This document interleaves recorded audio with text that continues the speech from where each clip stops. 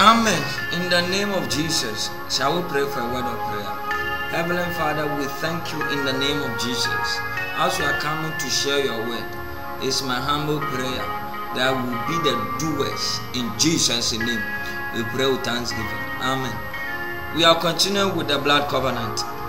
As we are aware, the Bible made us to understand that anytime we accept Jesus, our Lord, as our Lord and personal Savior, we are now in relationship with Jesus. And when you accept Jesus, that means you have accepted that you obey what the word says and do according to what the word says. So the blood of Jesus as a covenant is to seek to make us closer to God. Closer, that's what Jesus said. When you are praying, just say, Our Father. Therefore, when you accept Jesus, you become a son. When you become a son, you address God as Father. So, accepting Jesus, you accept Jesus as your Lord and personal Savior. Mean you have accepted the word to go according to the word and do what the word says. When you do what the word says, that is the only time you can address God as Father. So, Father and Son become family business. So, you must accept because we don't worship God because we want something, but we worship God because it is our responsibility.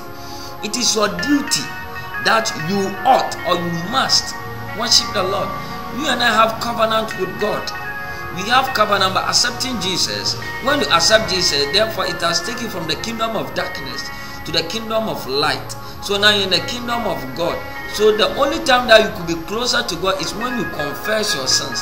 Then Jesus will use his blood to cleanse our sins. Cleansing our sins make us closer to God. So now we have relationship with God by the blood of Jesus. Amen. So it is mandatory. And Jesus made us to understand in the book of Luke chapter 10, verse 19. He said, I've given us authority and power. How can you get authority and power unless you become a son? And a son, you are given an authority. And with a son, it's like a police officer, a, a soldier who is man under authority. When he take a phone call, just one single call, he has the troops, the necessary troops requirement to come and attack a situation at a particular moment. It's not being powerful, it's having the authority to call. And that authority alone can bring things in existence. Jesus said, There's no man like having faith like this man because the man understood what is called authority. Children has authority. You and I, we have authority.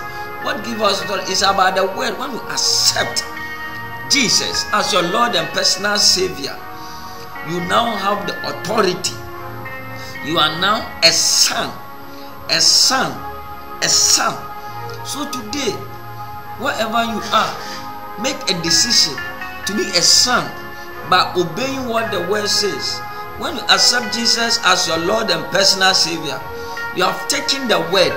You have taken the word. Now you become a son of the Most High, the one who created the heavens and the earth, the one who created everything. Then you are his son. So imagine being the son of the one who created the whole world. It's a wonderful thing.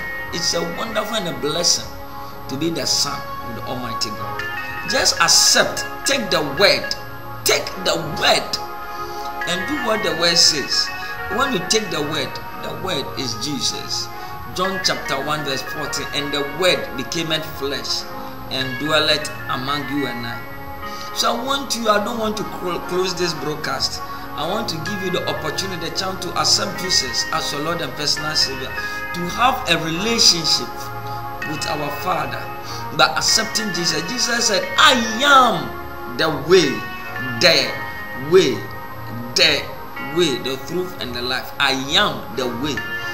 Jesus is the way. The word is only the way for you and I. Amen. Father, we thank you in the name of Jesus. I want you to take this opportunity to take Jesus as your Lord and personal Savior.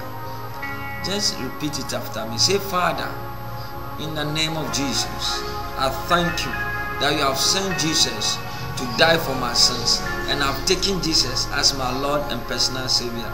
I will do what it says in Jesus' name. Thank you for saying this. You are now a son. You are a son, you can address him as father.